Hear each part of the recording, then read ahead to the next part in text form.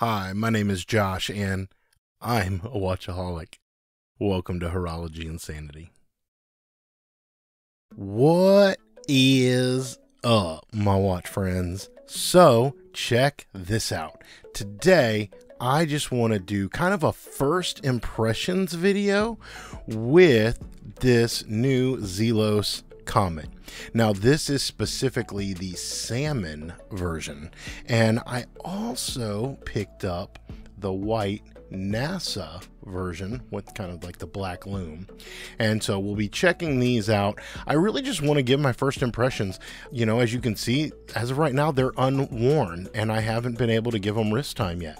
And so I want to do that. Uh, what I'm going to do though, I do not care for these standard leather straps that come on these Zelos. So I'm going to be swapping out these straps so that I can wear it. This NASA one will be going in my NASA collection, which is not just watches, right? I've got some other NASA stuff. I've got a bunch of NASA Lego. And so, for those who are unaware, I'm also kind of in the Lego hobby. This will go great with that. I also have all the NASA G Shocks. Oh, I've got my Xeric NASA watch with the ISS variant for the International Space Station. So, with that though, I'm really interested in this one just kind of being part of that collection. Maybe I'll do a NASA state of the collection sometime. Would y'all want to see something like that?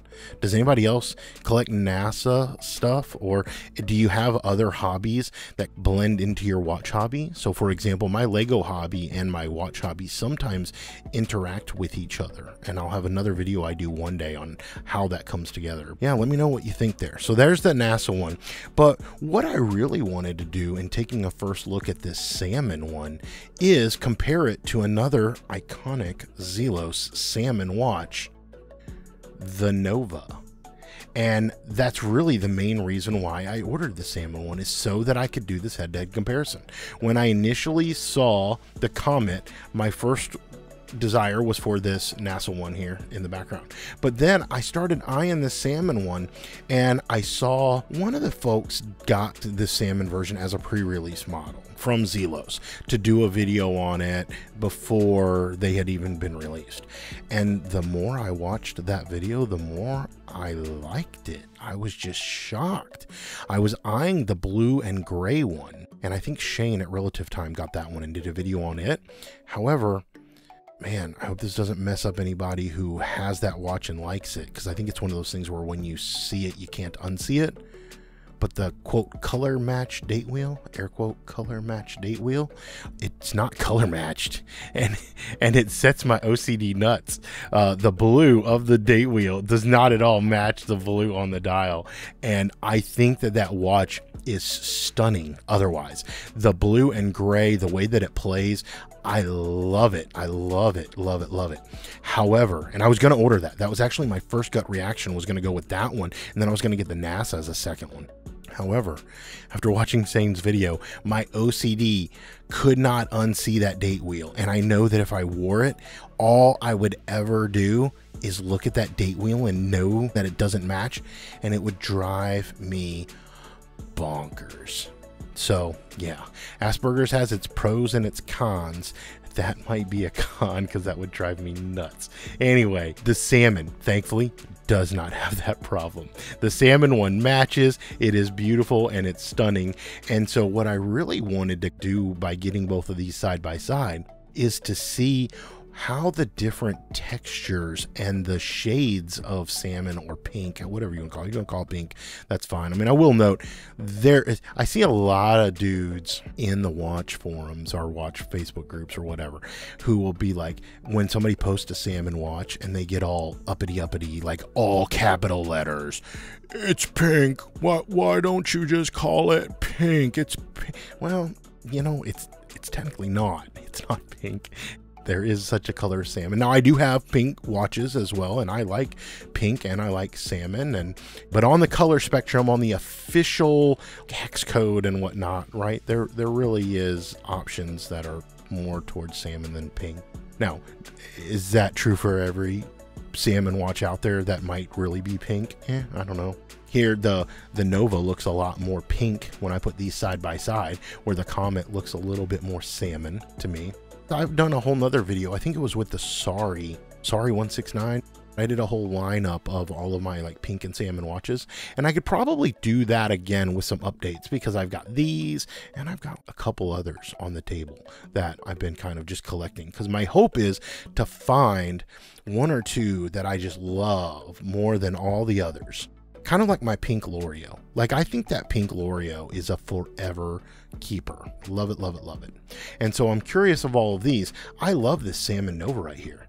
The problem that I have with the Salmon Nova is that, well, it's just too small. And that's relative. It's relative to me and my wrist and, and my wrist size. I don't even have a watch on because I was trying these on. But when I put this on, You'll notice I have it. That bracelet these came with, if I'm honest, wasn't very good. And so I took it off. I put it on this beads of rice, um, and I, I really like it on it, and I enjoy wearing this. But when I wear that, it feels a little small for me. And I don't know why it does that because when I wear the Weiss 38 millimeter, which is very similar to that, hold on one second here, let me grab it. Okay. The Weiss 38 is very similar in dimensions and everything else. But for whatever reason, when I wear the Weiss, it doesn't feel tiny. But when I wear the Zelos, it does. And I have not been able to figure out for the life of me why that is the case. Like when I put these on there, I mean, they're almost identical in all size and dimension, right? But for whatever reason, the Weiss it doesn't wear as small to me. It doesn't just look small. The Zelos just it wears and looks a little small. So the closest thing to a rational reason that I have come to think that that might be the case when I look down at these is that the design of the dial on the Weiss with the big Roman numerals and the whole field watch aesthetic, it doesn't have a slimming aspect to it. The Nova has a lot of slimming aspects to it. When you look at how thin the stick hands and indices and whatnot are, everything about this watch screams thin, which is wonderful because when you actually do that, it is thin. And that's part of the beauty of this watch was using this hand wound movement, how thin it was, right? And that's fantastic. Even with kind of that box dome style crystal, it's still super thin, right? And I love that. But for whatever reason, the thinness of this, the fact that it wears small, for me, it keeps me from wearing this very much. Which is funny because the guilloche, when I get in on this right here, this guilloche patterning is one of the nicest things I've ever seen on a watch. Like of any watch. It's absolutely stunning. And I would say that was some of the exotic Grand Seiko and Seiko dials that I've seen with, you know, just all that stuff. I love textured dials. And this guilloche pattern it just really is stunning. It has like a depth to it. Uh, it's hard to explain without kind of seeing it maybe in person. I hope some of that translates on the video for you. But yeah, so that is a drawback. It's a drawback because I otherwise would want to wear this watch all the time if it was like two mil bigger, two mil wider. Don't make it any thicker, keep it thin, but two mil bigger and this would be a forever keeper. But that's one of the reasons I picked up this Comet. Now, when the Comet was originally announced, and I could be wrong with this, maybe I got to go check my notes and check Elshan's post. I thought he said this was supposed to be a 40 millimeter. It was a very similar case shape as the Starfighter, but just the Starfighters in general. I did a video on the Aventurine one. I was lucky enough to, to get one in from a friend and, and experience that and did a video on it. But the Starfighter is 40 millimeters, right? And it was funny to me, it wore small, but it wore small because of the bezel and a couple of other aspects of it. Well, this Comet, I thought it was going to be the exact same case, 40 millimeters wide, but without the bezel, meaning you'd have a little bit more dial presence and it would wear larger. Well, it turns out it's 39 millimeters in case width. It does not have a bezel, but I'm not sure if it wears as big as I was hoping for it to. Now, that's just with me eyeballing it, right? Like I keep it next to me. I haven't actually gotten wrist time with this yet. You can see this one is unworn. I haven't worn either one of my Comets yet. I, have got to put this one to the test. I'm going to be swapping out the straps on this today, and I'm going to be getting it on the wrist.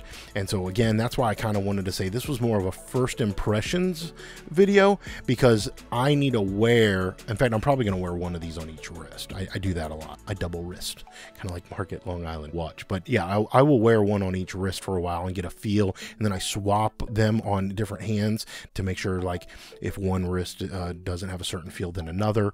But I will be doing that with both of these. I'm curious, does anybody else out there have a Nova and did you also pick up a Comet? And what has been your experience with it? Because as much as I love this one, man, I think I'm going to like the Comet better. I just might. And and even then, I don't think I would like the Comet as much as if I could get an actual 40 or 41 millimeter Nova. like that's my that's what I really want. I really want a 41 millimeter Nova. Keep it thin, keep the guilloche pattern, get this beautiful salmon, but make it 41 millimeters it's a daunting task, right? When uh, and I say this so tongue in cheek, by the way, I'm being extremely sarcastic right now, but it is a daunting task to look at all of these amazing watches and nitpick the crap out of them, so that I might be able to find the perfect one. Right, the one, kind of like Lord of the Rings, the one ring to rule them all. Right, like is that even possible? The one watch to rule them all? I, I don't know. I don't think it does. But I'm going to still keep hunting for it. right? And that why they call them grails? It's like the hunt for the Holy Grail, Indiana Jones style. That's what I'm doing. It's a never-ending hunt, which makes for a good hobby. Because if if I could achieve it quickly, it would probably be a boring hobby. Nothing boring about watches. Uh, at least I don't think so. I think most people would disagree with me. I think my wife would disagree with me.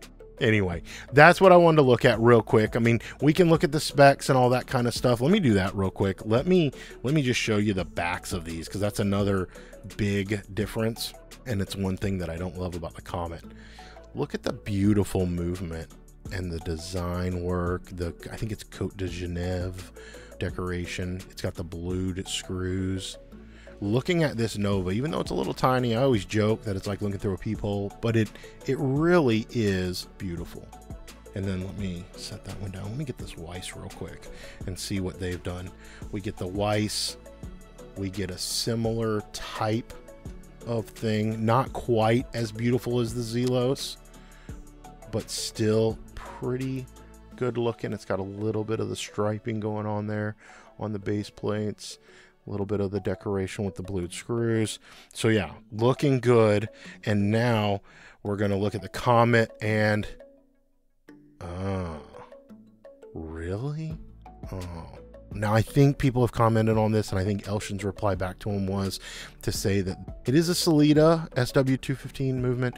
So it is a good quality, like Swiss made movement, but I think he was trying to keep the cost low on this. The cost for this one was 629 I think, compared to the Nova, coming in at 899 right? So you got a little over $100 difference there. But the decoration on this, I'm going to be honest with you, I think I'm coming to the point in my hobby where if the movement's not going to look good, I might rather have a really nicely decorated case back. like I like the biotic, it's not going to come to fruition, but the biotic for Formicidae, that with the ant trekker on the back, I loved that. I absolutely this is my one of my favorite things about that watch. But yeah, so I loved that. The Vario Empire several others are doing like really nice decorated case backs instead of doing a see-through case back. Because at this rate even though this is a nice fancy swiss movement i'm going to be honest with you it looks no different than a cheap seiko or chinese knockoff right? It really you really can't tell a difference on this just because this thing looks so plain and simple. Was it worth the cost savings? Maybe. I don't know. I don't know how much it cost to get the decoration Anyway, anyway, anyway, I'm rambling a little bit. So, all of this to say, let me give this a lot more wrist time. Let me see how that goes. I may end up enjoying it. I will say, I like the sector dial, I like the design and layout a little bit better.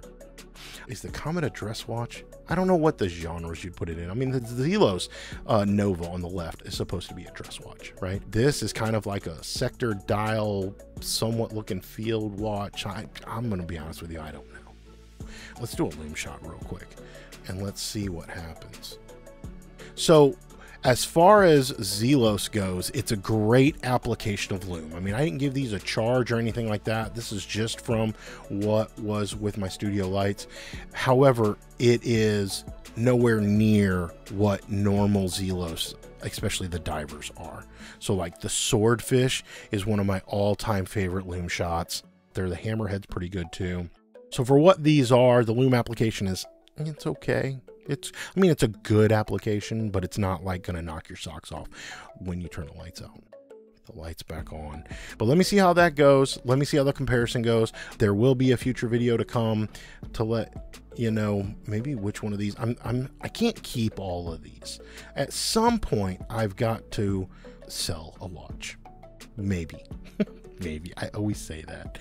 I don't know. I get around to it eventually. But yeah, this is what I want to compare and look at. So I'm curious, down in the comments section, can you please let me know, like, what is your favorite salmon or pink watch. I know a lot of people uh, want a Salmon Nova, but haven't been able to get one because there was a limited number of them and they sold out in seconds. But there's a lot of other brands. Like Salmon is the, or at least was. I think now we're rolling into a stage where like purple is going to be the new color trend. And but for a while there, Salmon was like the trendy cool color, other than like the Tiffany blue that's currently rolling through. But what is your favorite salmon? I think the one that I haven't gotten my hands on yet, but that I'm really curious about is the mandala with all of its texture and the beautiful color of, of like salmon pink that they use. I think it's a really a good looking watch. So I'm curious about that. But yeah, what's your favorite salmon dial? Because I'm always I'm always interested in another salmon you know, blue is my all time favorite, but salmon's a close second. So, yeah, let me know what you think about that. Put it down in the comments if you don't mind. So, until we talk again, my friends, please remember what really matters and that that's not watches. Keep the insanity sane.